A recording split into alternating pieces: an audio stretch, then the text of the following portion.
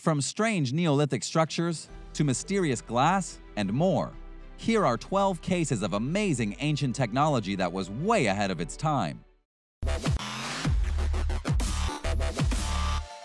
Number 12. The Ancient Rock Ship of Asuka Strange megalithic stone structures are spotted all over the forest in Asuka-Nara, Japan. Called Masuda no Iwafune, or the Rock Ships of Masuda, they're found in an area known for its many Buddhist temples and shrines.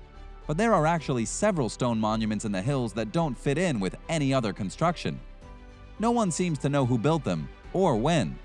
The village itself dates back to 250 to 552 AD, and these date to before then. The most famous one is 36 feet, 26 feet 8 meters wide, and 15 feet 4.7 meters high, with a weight around 800 tons. There are 3.2 feet 1 meter square holes carved into the top of the structure. It may have been constructed by Buddhists for some type of ceremony, given the region's many Buddhist temples and shrines. But these rocks don't resemble the architecture of any known Buddhist structure. Perhaps the stone was carved to commemorate the former Masuda Lake, which was once nearby but was drained. The structure may have been an astronomical observation point. A ridgeline on the top of it runs parallel to the mountain range in Asuka and aligns with the sunset on a day called Spring Doyu Entry.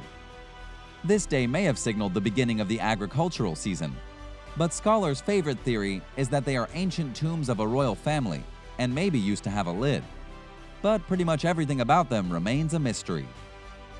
Number 11. Dropa Stones In 1938, Chinese archaeologist Dr. Chi Pu Tei discovered evidence of a long-lost culture in the caves around Bayan Karaula in China. Under a thick layer of dust, Dr. Chi found dozens of stone discs that were strikingly similar to vinyl records. They were about 9 inches in diameter and had a central hole, and were inscribed with a long spiral groove. The discs were turned over to a researcher named Tsum Um Nui from the Beijing Academy for Ancient Studies. He was able to translate them, and announced that not only were the spiral grooves made up of tiny hieroglyphics, but the inscriptions told the story of a spacefaring people called the Dropa, who crash landed in the nearby mountains. These aliens had been hunted by humans because they were short and ugly.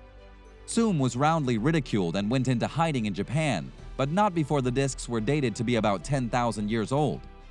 Russian scientists somehow obtained the discs and put them on a turntable, where they allegedly noted that the discs began to vibrate and hum when they were played like an LP.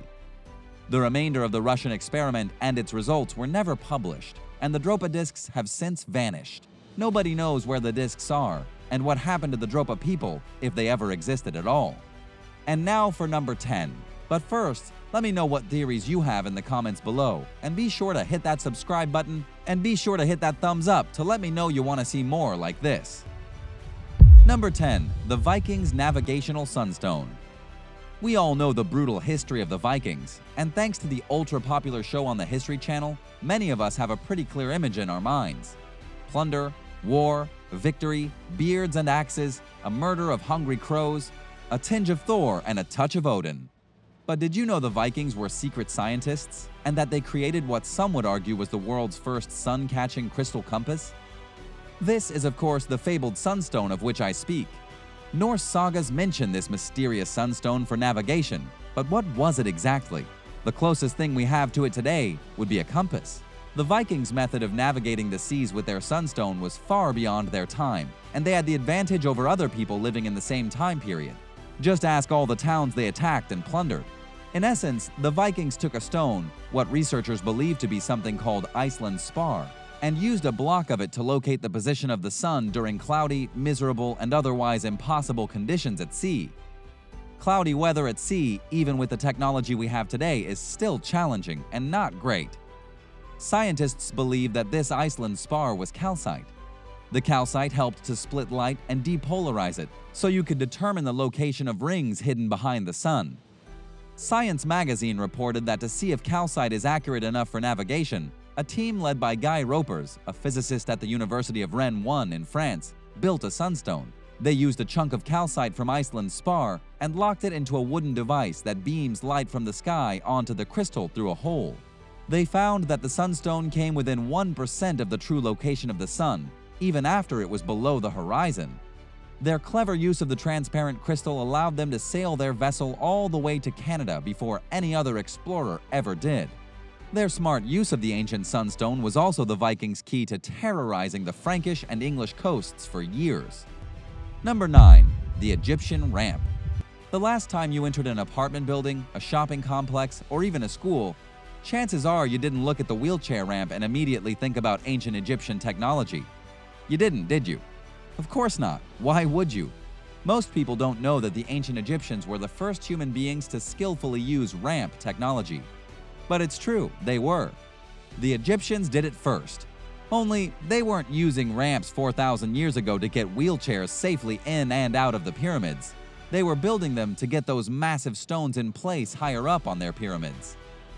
According to researchers, early Egyptians figured it out that it was easier to slide large slabs of sandstone up a soft ramp using leverage and manpower than to haul them up using ropes.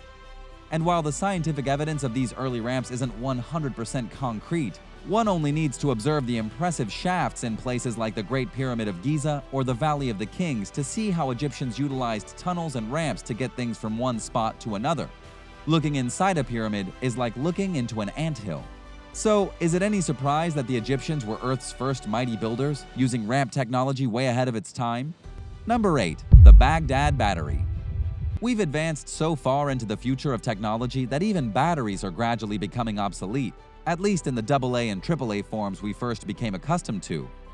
And while we think of batteries being new powerhouses for cordless technology, did you know the first batteries may have been crafted in the sandy depths of Arabia in the year 250 BCE?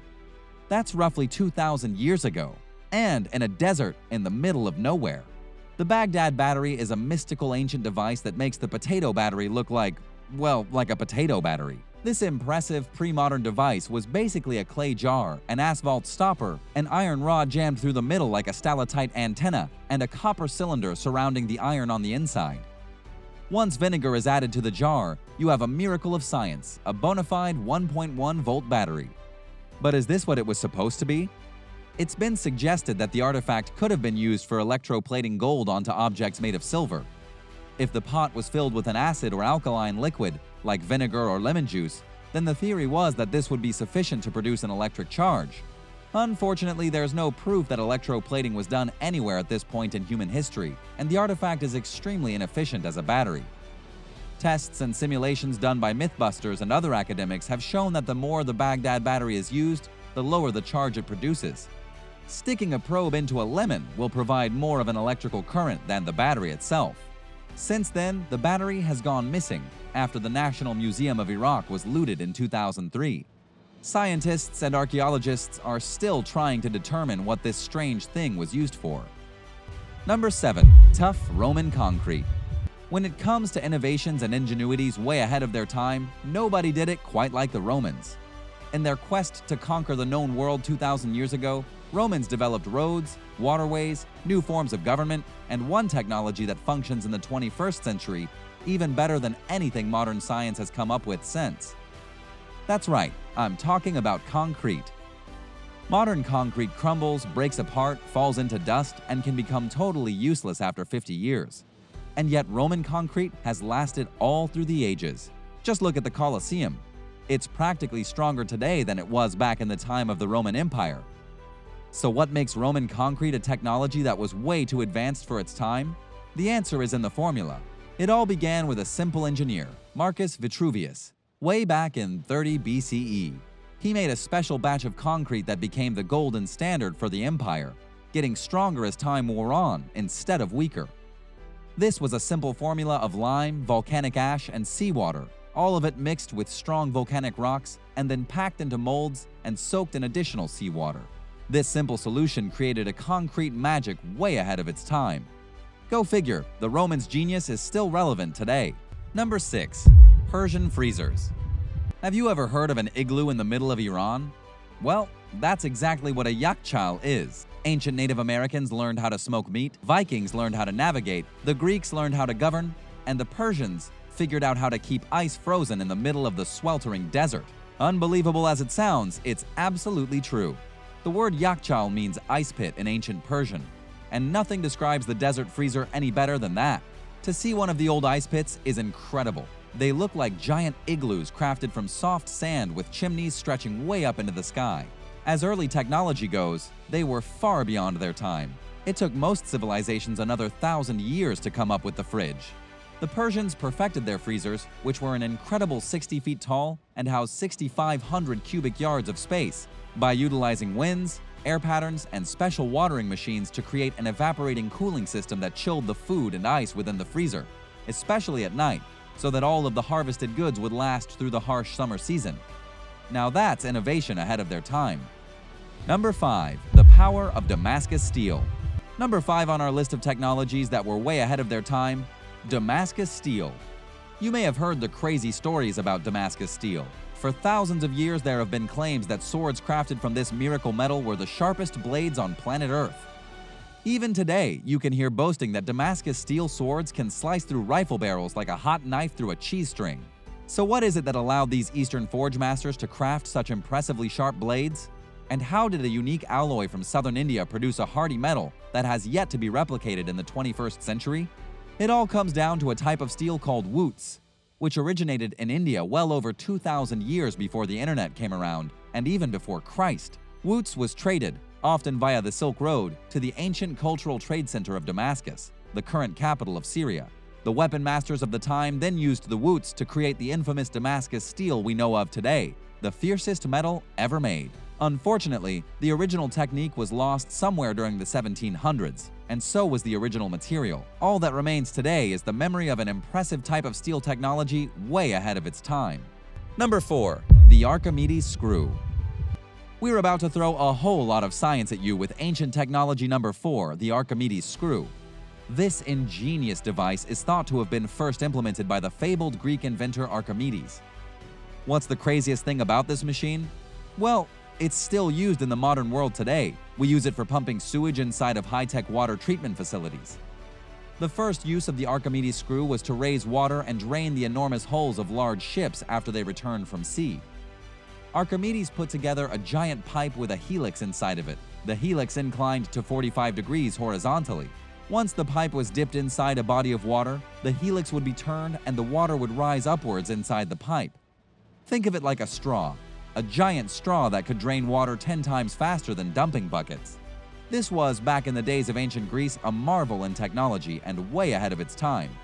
Gravity, a special helix, the quick drainage of water. It was a masterpiece. Even today, the design carries water, literally. Number 3. The Antikythera Mechanism. The legend of the Antikythera mechanism is one of mystique and intrigue. The world's first supposed computer sat at the bottom of the sea for over 2,000 years before it was discovered and retrieved. And today, it continues to take up space in the National Archaeological Museum of Athens, looking like a trio of green rotted rocks. Unlike a rock, these mysterious mechanisms are anything but dull. Through the sea-caused corrosion are hints of modern technology. We're talking about gears with precision teeth, tiny components that look like clock pieces, and something that looks like a measurement ring. It's truly boggling to the mind. And while there are a lot of conspiracy theories circulating to this day about its original creator, many people cry ancient aliens. The truth is that nobody knows for sure who made the device. One thing is for certain, the Antikythera mechanism could have been used to track the moon, the sun, and the planets with startling accuracy.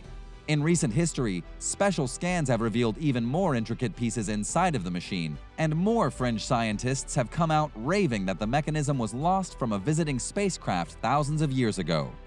No matter what anyone thinks or what the device truly did, nothing else like it was created on Earth for over a thousand years. This was a piece of technology far ahead of its time. Number 2. Archytas's Steam-Powered Pigeon Steam power is a clever beast. Most of us are familiar with the Industrial Revolution, the invention of the steam engine, coal-fueled trains, and other types of monster machinery. We're all surely familiar with steampunk, the dreamlike visions of 16th century Hong Kong overrun by steam-spewing humanoid automatons. But did you know that the first steam-powered machine was actually invented in Greece, and it came in the form of a pigeon? The inventor goes by the name Archytas, and he was quite famous back in the days of the great Greek pantheon. Among his inventions was a steam-powered flying pigeon.